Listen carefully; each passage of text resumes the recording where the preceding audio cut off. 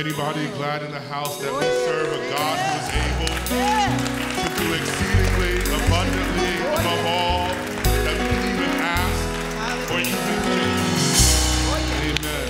Amen. We want to thank God for the ministry of, uh, of our dear um, guest singer and to our music ministry. God bless you. Um, there is a word from the Lord today. You'll join with me in the book of John, we'll be reading um, verse John 1, verse 14, and then we'll be looking at John 2, verses 1 through 12. That's John 1, 14.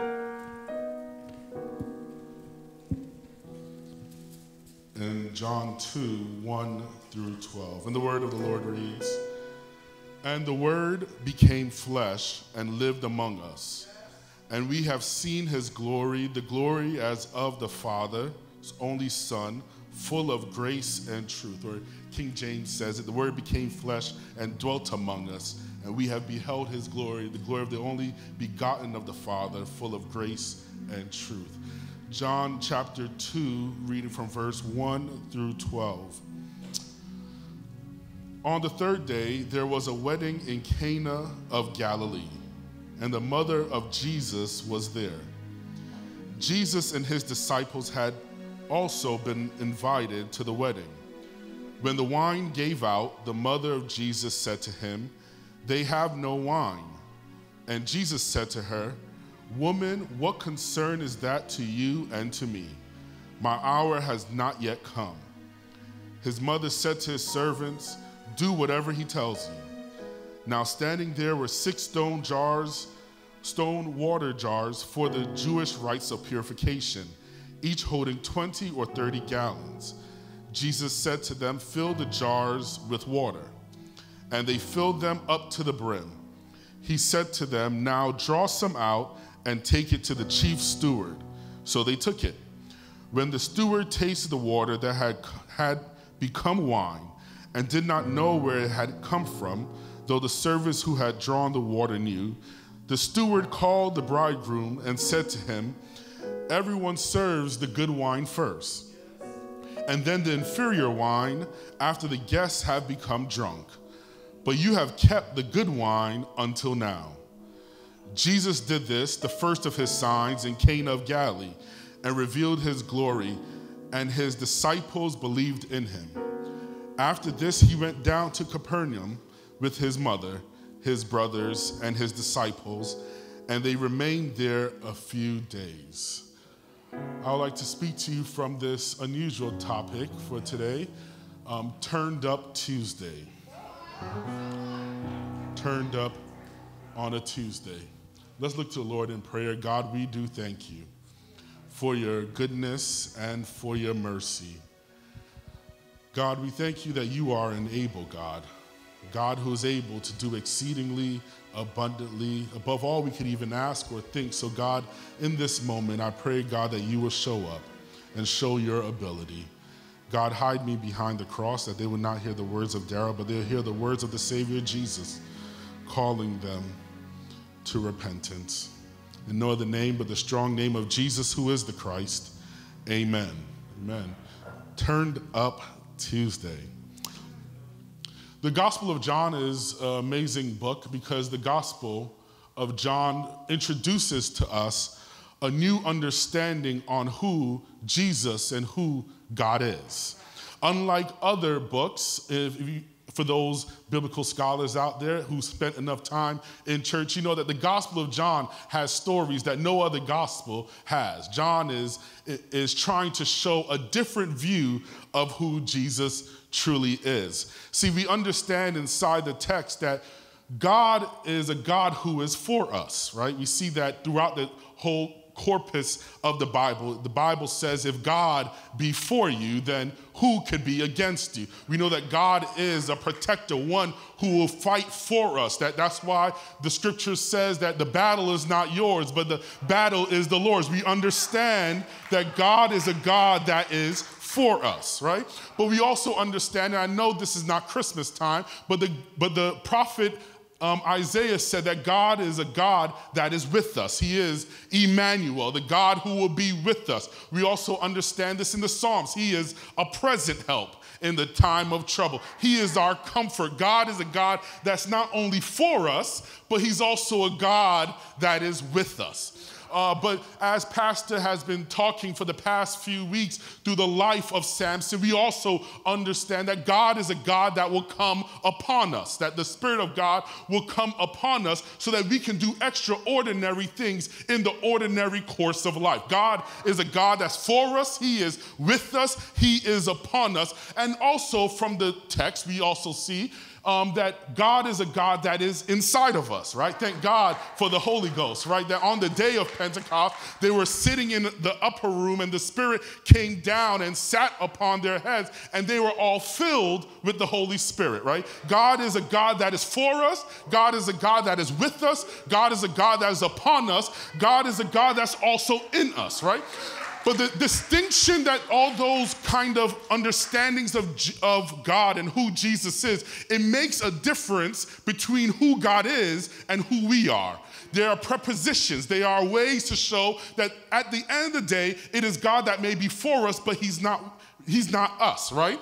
He's a God that is with us, which means that He's beside us. He's a God that's upon us, which means that He's on top of us. He's a God that lives inside of us, which means, but there's still a difference between God and man. At the end of the day, all the course, all the scripture shows that there is a difference between God and man, which makes the person of Jesus so different and makes this person of John, what John is saying to us, so different. Is that John kind of breaks down this wall between God and man and says, In the beginning was the Word, and the Word was with God, and the Word was God. But then he goes further and says, But the Word became flesh which means that God moved it from a preposition into a verb. He said, Before He was with us and for us and in us and among us, but now God is us. God became like human flesh so that He could understand what we go through and so we can live, so that we can then so that he can better understand every pain that we feel, every desire he was tempted by. God became like man. That's what Augustine said, so that man can become like God.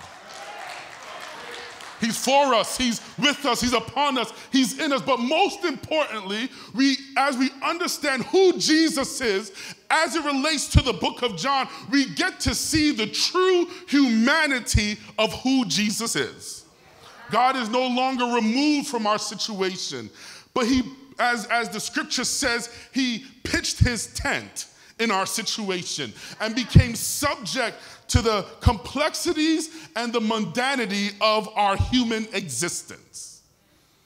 Jesus, our Lord and Savior, Jesus came down from heaven and took on this robe of flesh. Jesus said that it was not enough for me to be for you and with you. Jesus said it's not enough for me to be even inside of you. Jesus said it's not enough for me to even be upon you. But Jesus said, I gotta try this out for myself so I can better understand what they go through, but that they can also better understand that I understand what you're going through. It's a two way street that's going on. We understand God a little bit better, but God also understands our situation just a little bit better.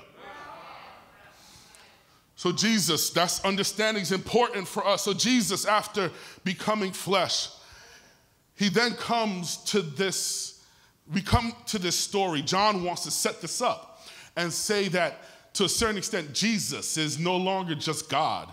And he's not just man, but he is this God man, both 100% God and yes, also 100% man. Which brings us to this text. That understanding is important as we start to engage this text today.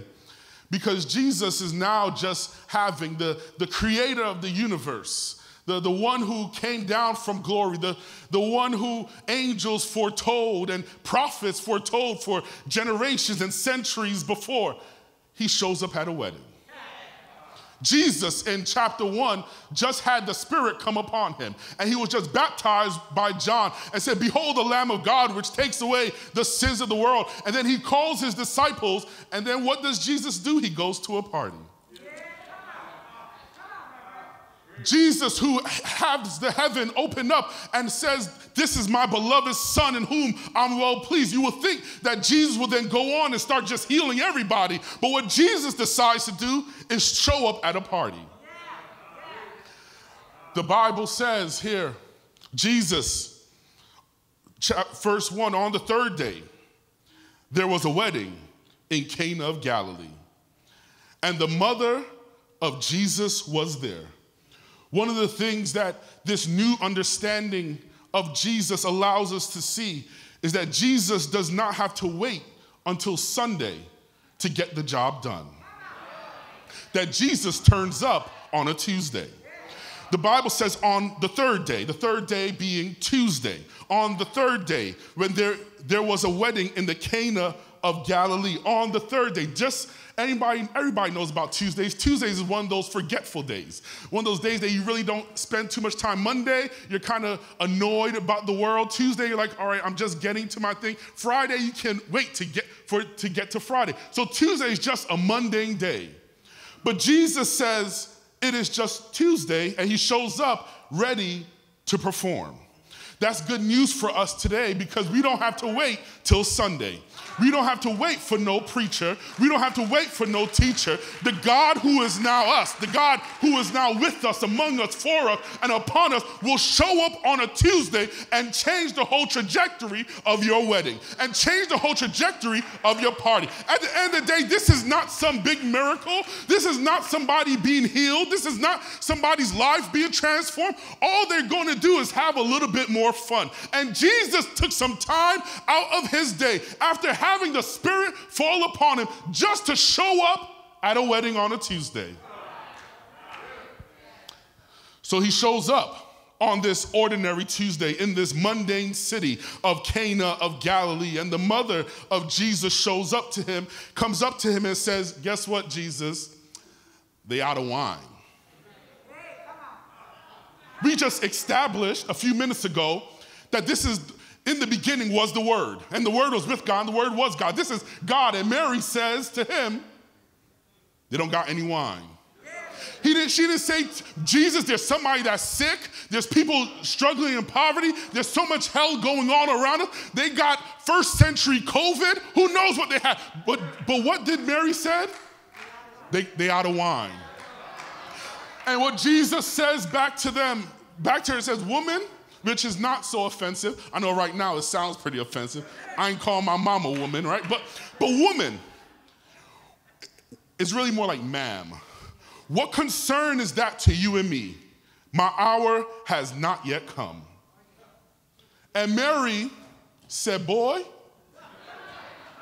I done labored with you for nine months, put up with the shame and agony of people think I had Harry, Tom, and John around.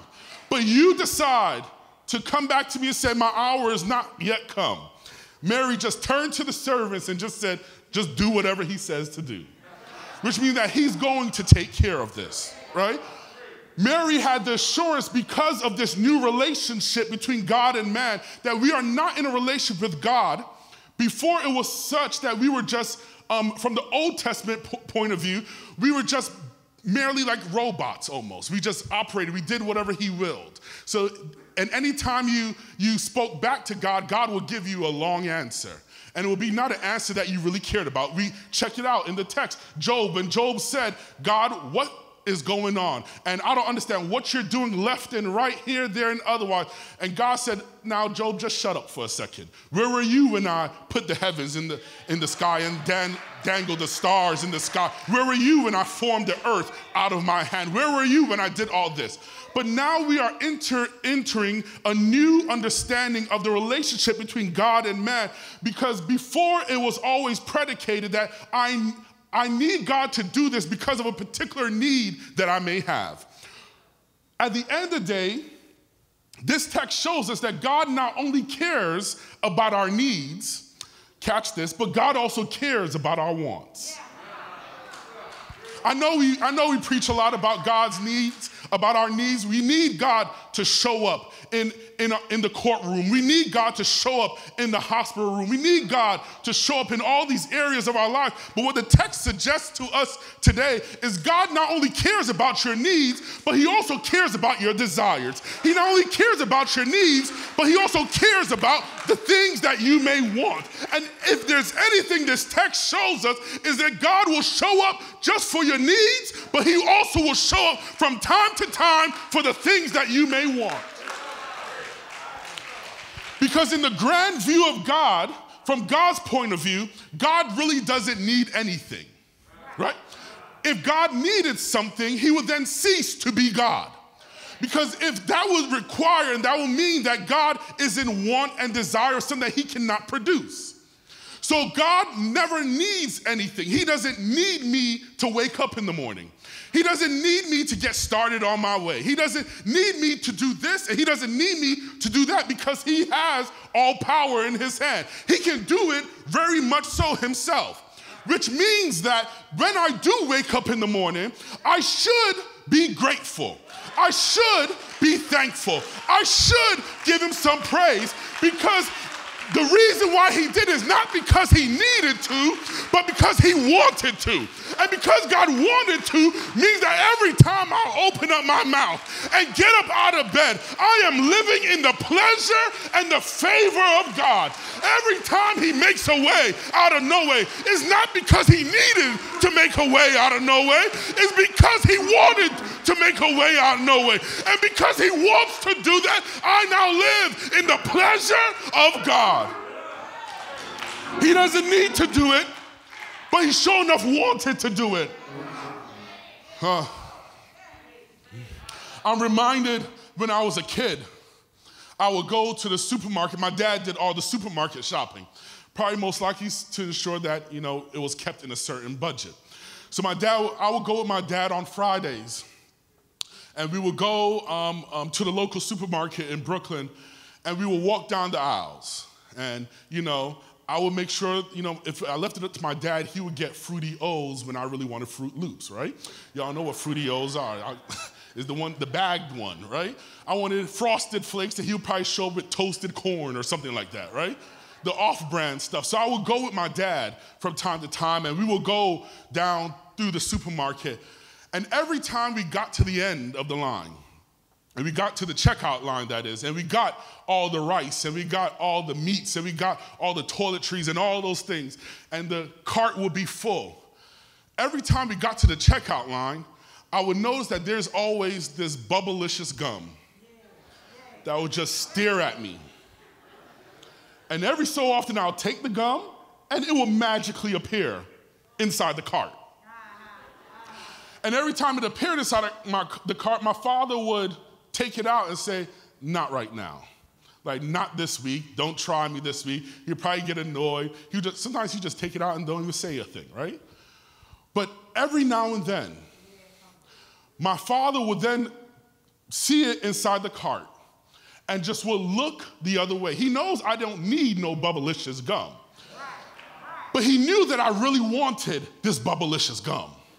And every so often, God, every so often, my father, would take the gum and make the cashier check it out, and I would enjoy this gum all for the 10 seconds that it lasted, right?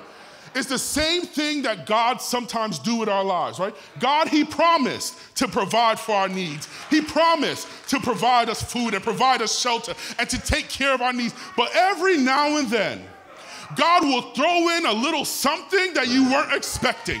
I don't know about you or the other, but God, every now and then, God will open up the windows of heaven and will pour you out a blessing that you have no room to receive.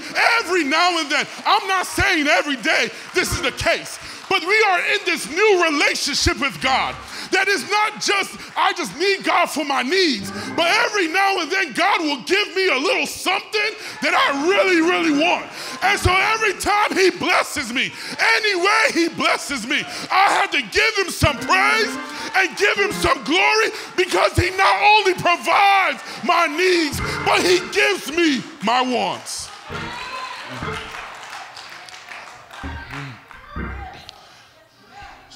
They, they, they, they didn't want the, it, it, was just wine that was going on here. There, there, there was nothing, uh, um, th- there was nobody being healed, there was no one being saved here. It was just some wine. It was a lot of wine at that. We will get to that. I'm not encouraging y'all to go have wine after this. I'm just saying, this is what the text is saying. But one of the things that we see inside this text is God, in the person of Jesus, who is the Christ, shows up and turns up in this situation to cover some of our shame.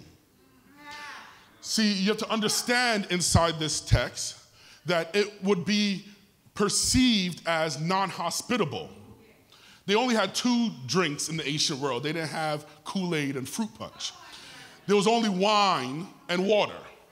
Sometimes the water, most of the time, wasn't bad, was bad, so you had to drink a lot of wine. So to show up at this wedding, and then y'all could, y'all could see this picture in your own lives, right? Imagine you show up at a wedding, and you get to the wedding after a stay, you know they already started the wedding late and, they, and you show up late and now you're sitting at the reception and you didn't eat no food or do anything before that. Y'all, everyone has one of these stories. And you show up and they ran out of food. You would say to yourself, I ain't never going back to anything they're throwing, right? This is the same thing that was going on inside this text. They had to make sure that the wedding feast, which lasted for about seven days, that you had to ensure that you had enough food and enough wine for everybody that will show up. Because if you didn't, then when it came time for you to marry off your next son or your next daughter, nobody will get married to y'all because they understood that y'all don't got no money and y'all cannot provide. Y'all didn't plan this out right. Y'all got no coordination. You got no organization skills. You know? Just stay away from the family. And in that shame culture, that would have ruined the prospects of that whole family for generations to come. But Jesus, after coming from the water, but Jesus understood that this is just some trivial issue. This is not life or death, but Jesus understood what was going on and said, I've got the opportunity in this moment to cover their shame and produce this wine so that they could then live a life of prosperity and keep on going. Aren't you glad that there are some situations in our lives that, if the truth be told, you would be thrown out the church, thrown out your job, thrown out your marriage, thrown out every situation. But Jesus showed up in the midst of your situation and he said, What you need for this situation. Maybe you need a little wine, but maybe you need a little peace. I will cover it up. I will cover your shame so that you can go on and live your life. But Jesus, he will show up and turn up into your situation so that you can live a life of whole, holiness and freedom. But Jesus, just to cover some shame, he will show up. Mm. So, Jesus covers the shame because of their piss poor planning and but Jesus. Hmm. So Jesus then, thank you, Reverend. But Jesus, now standing, there were six stone jars for the Jewish rites of purification, each holding 20 jars, 20 or 30 gallons. And they filled them up to the brim. And Now Jesus said, Draw some out and take it to the chief steward. But the text says here, when the steward tasted the water that had become wine and did not know where it came from, the steward called the bridegroom and said to him, Everyone serves the good wine first, and then the inferior wine after the guests have become drunk. But you have kept the good wine until now. Hmm. So, y'all get this. When you started off the party, they brought out the Hennessy. But at the end of the party, they brought just that brown juice you found in, in, in the corner store. When you started off, you had the Belvedere, but now you got some cheap Russian vodka at the end. That's what they, that's what you normally do, right? You oh, oh, oh, y'all been to some of these parties I see, right? Jesus, when they tasted this wine, they recognized that this wine was better than what they first gave. Which means that when Jesus shows up into your situation, in this new relationship he has with us now, the things that started off bad, the things that started off good, and you th- then started going bad, he's able to turn up and transform situations. The same way how he transformed water into wine. Jesus, any situation he turns up in, he transforms it so that it is better when he left than when he came. Any situation that Jesus shows up in will become better after he had left than when he came. I don't know about you. I have a lot of water pots around, but I've never seen Jesus turn my water into wine. But I have seen Jesus show up in my situation. And I've seen him change my sorrow into joy. I may not have water to wine, but I've seen Jesus change me from a victim to a victor. I not, might not have water to wine, but I've seen Jesus take this test and turn it into a testimony. I may not have water into wine, but he have taken my, my hurt and transformed it to healing. I may not have water and then he turned it to wine, but he made this sinner into a saint. The song said that he picked me up and he turned me around and he places my feet on solid ground. I don't know about you this morning, but aren't you glad that Jesus, when he steps into your situation, he will change you from you will leave better than you came. You will leave stronger than you came. You will leave wiser than you came. I don't know about you, but aren't you glad this morning that my Jesus will turn things around? Mm turning. He's turning. He's turning. He's turning our situations around. This same Jesus that turned water into wine is still in the transformation business. I don't know what your situation is. I don't know what you've given up hope on. But if the Lord of the universe can stop down in lowly Cana to stop by a wedding and turn water into wine, I'm sure you've got a situation that is more pressing than some wine. That if he's willing to do this thing for wine, just imagine what he's willing to do in your life. He is willing to transform and to change and to turn your life around. So if there's anyone here this morning, the greatest transformation we can offer you this morning is that transformation from sinner to saint. The greatest transformation we can offer you this morning is one of disconnection to connection to the God who understands and sympathizes with our weakness. Today, we want to offer you Christ, this Jesus who cares about you so much that he will leave glory and come down to lowly, smelly Judea, suffer and die on a cross, and raise, rise up triumphantly so that we can have just a little bit more of a good time. He did all of that so we can have a good time. This is the Christ, this is the Jesus that we offer you today. So if you, if you are also looking for a church community, we're not perfect. We're just in the process of being transformed ourselves. We are just only becoming better.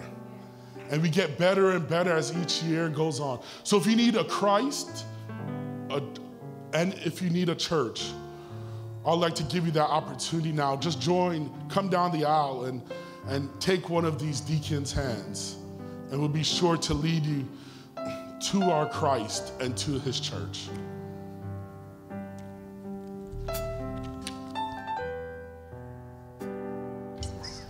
Thank you. And if you have any prayer requests, please put them in the chat. We would love to pray with you. When we come back, reach out and pray with you.